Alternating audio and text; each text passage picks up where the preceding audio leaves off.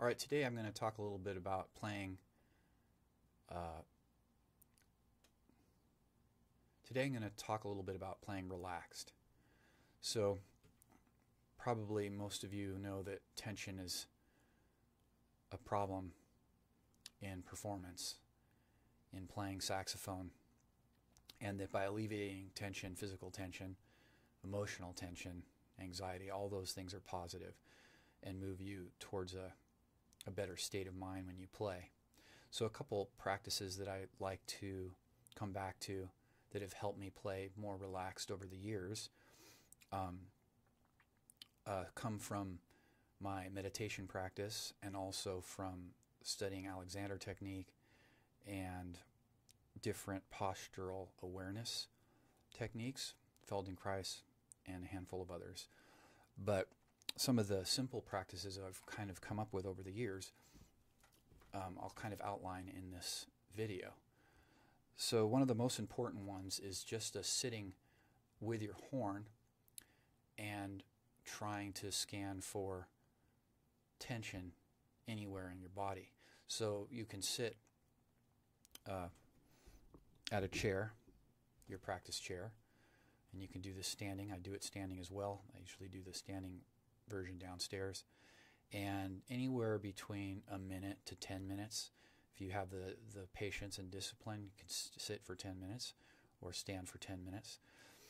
Think about the fact that most of our solos, when we improvise, are around three minutes long. If you record yourself at various sessions, gigs, recordings, usually we solo for about three minutes. In, in any case, that's my average. And so if you can maintain uh, awareness of tension for three minutes, you're in a good, a sweet spot for at least having enough focus and concentration to mitigate uh, tension as it begins to manifest in your body. So, sitting here in the chair uh, with your hands on the instrument, kind of in a position where you might play, you can even have the mouthpiece in your mouth.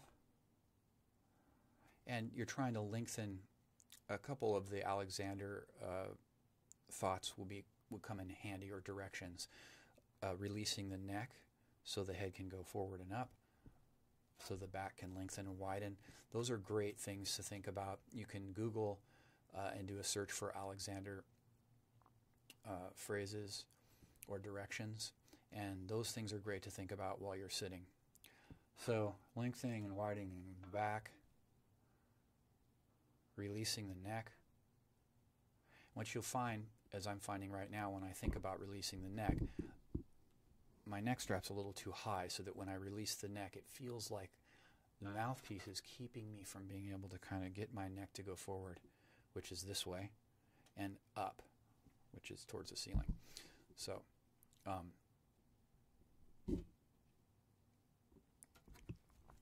So I'm going to loosen it a little bit. And those angles uh, with the neck strap and the instrument should be considered to be always changing. If you're standing, if the bottom of the horn is closer to the body or further from the body, the the neck strap distance needs to change. It needs to be something that's completely uh, movable.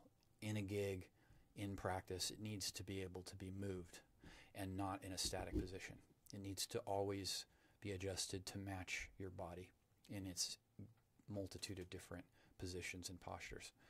So I, I prefer a neck strap that has that ability. I don't like ones that have basically hold the the distance from the neck in place. So then you sit and scan for tension. You can do some of the Alexander uh, suggestions or thoughts or directions.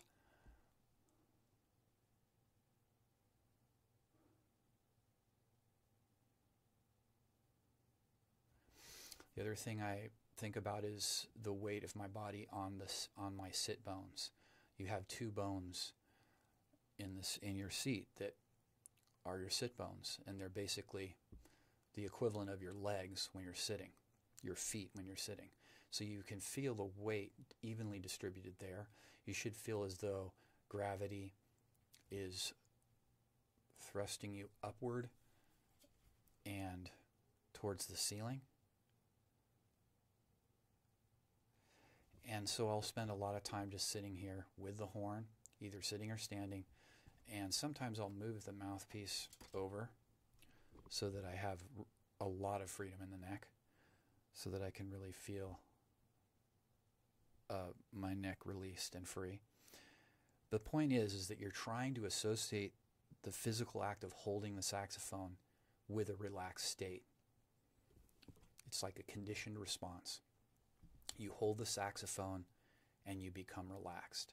This will help with tension on the gig, recordings, sessions, because holding the saxophone will make you relax instead of make you tense or make you have anxiety. You'll, you'll start to associate holding the saxophone with a, a safe space, so to speak, relaxed, calm, balanced, focused, centered, and calm. Uh, and those are states that you want to foster as a player. It will help. So that's the one of the most important practices that I do to help me maintain a fairly relaxed state when I perform. Um, the standing version is identical. You just stand and do the same thing. Kind of demonstrate that a little bit.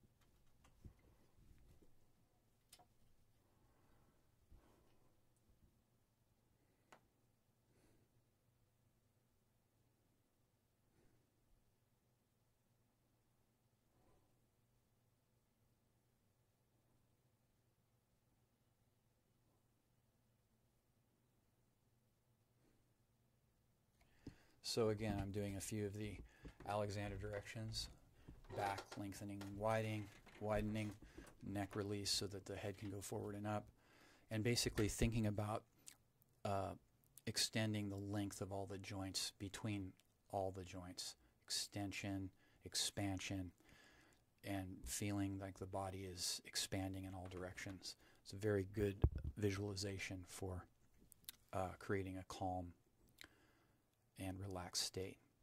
So you can do this and listen to music, which is something I also do. I'll hold the horn standing or sitting in a posture of performance, and I will listen to an album or listen to one track.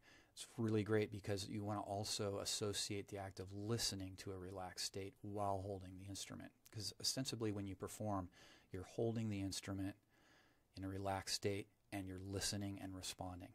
So you're basically practicing associating holding the instrument with listening and staying relaxed. It's great habits to foster and cultivate as an artist, as an improvising artist. So that's the main thing I do to practice staying relaxed in performance or while playing the saxophone. And I hope you find that helpful. And I'll see you on the next one.